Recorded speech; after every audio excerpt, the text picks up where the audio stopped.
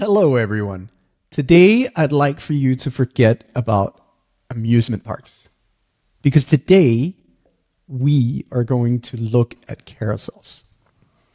This is probably one of the best inventions of the internet, and they are incredible at wasting a lot of time. Most of us probably know carousels from apps like TikTok, Instagram, LinkedIn, Facebook.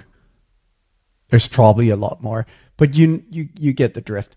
A carousel is a great way to captivate your audience and have them click on the right button a lot of times or scroll, whatever.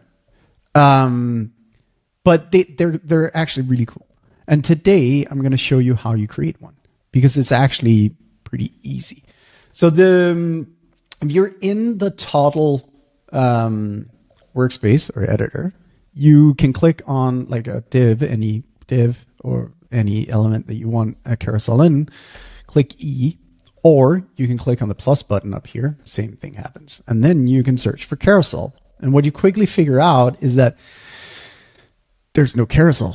And that kind of sucks because you really, like, this whole lesson was set up so that we could talk about carousels. But there's a new thing where you can click on install packages out in your sidebar, and then you can search for carousel.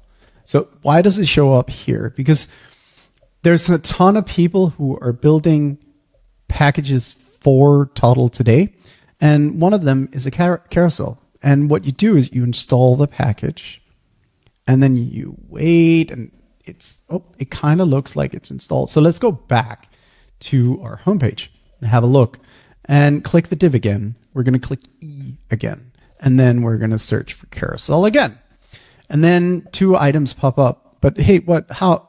What? This is a package. So the package contains two elements. The carousel package contains two elements. Others might contain a lot more. Um, but here you have a main element and you have a slide element. The main element is where everything is that you need in terms of like the, the, the arrows to go left and right. And the slide element is just like the content that you want in there. And you can put in text, you can put in images, buttons, whatever tickles your fancy. But first, we're going to start with the carousel element. So we're going to click that. And then you see, oh, there is something on the canvas, but it's empty. And we kind of need a carousel to have content. Otherwise, we can't waste our time, which would be horrible, awful. We don't want that. So we're going to click on carousel main, E, carousel again, insert a slide, and then the slide shows up except there's nothing in it. That's because the slide is a slot and requires content. And you can fill this slide in many ways. One is you could click E, write card, and then a card pops up. We don't want to do that today. Today we want to do something much more fun. The other thing that you could do is you could hook, let's say you have a database of all the elephant species in the world with images of them with hats on. You could hook up to um, that database, create basically like an image, and then um, you could create a, a repeat item that says, hey, like, I want you to pull all of the images and then I want you to present them in the slider. We're also not going to do that today. Today we're going to like do something semi serious. So I'm going to click this image. I already added it. And then I'm going to add an image. And I'm thinking we could do a slider with cool cats today. So I'm going to let the image load. It's loaded. There's an image here. I'm going to go into test mode.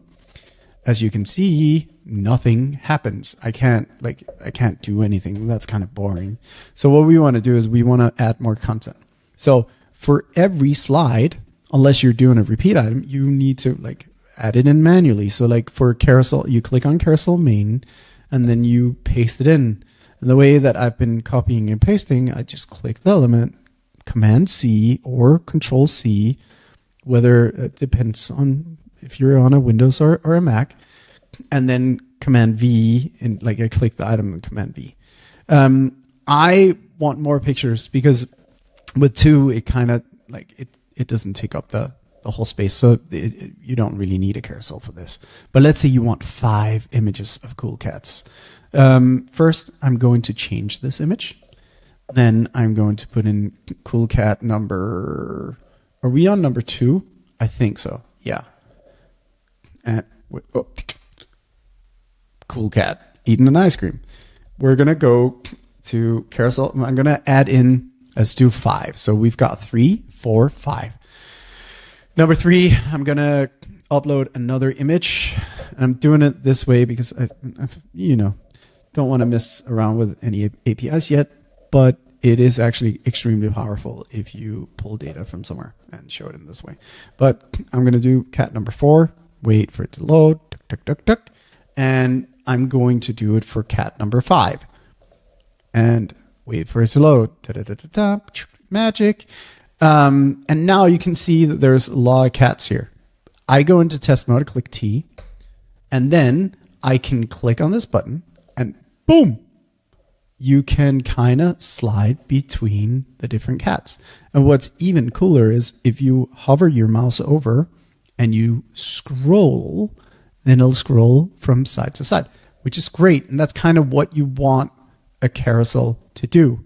And this one is very easy to build with because it's already made. So you don't have to sit and uh, create a carousel for, from scratch. You just pull it in. Um, and you can build these packages yourself if you want. It's very easy. You just go in like you would for um, any other project, and you instead of clicking add new project, you add a package. Um, but if you want other things, you can just like click on the packages. You can sort by popular, newest, installed. Here I only have one installed. If I don't want it installed anymore, I just uninstall it. But I kind of do want it installed because, you know, I'm using it and I would be very sad without these cats. So um, I'm going to install it again. And here you go. You can publish it. And that's really all you need to do.